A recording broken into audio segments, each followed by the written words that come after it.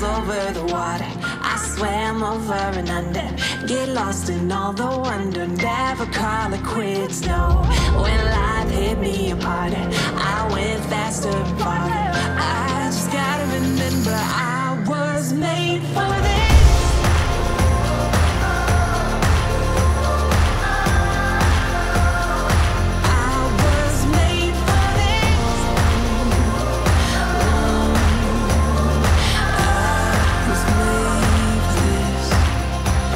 So what we're doing here tonight is a, is a community event put on by Find Feed and Restore. We want to provide a lot of different uh, for them as far as housing, schooling, uh, any kind of information that we can provide, any type of resource that we can provide to Find Feed and Restore.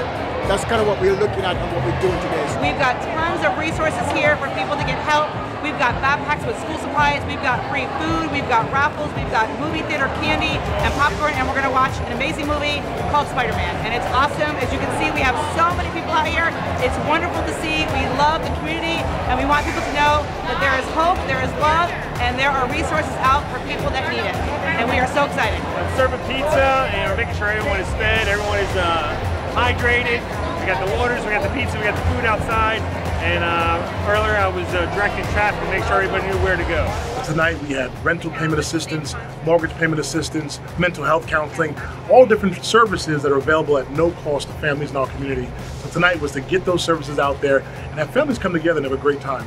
And we did it one time before and we were blown away with 275 people coming out. We thought this time if we could match that it'd be amazing.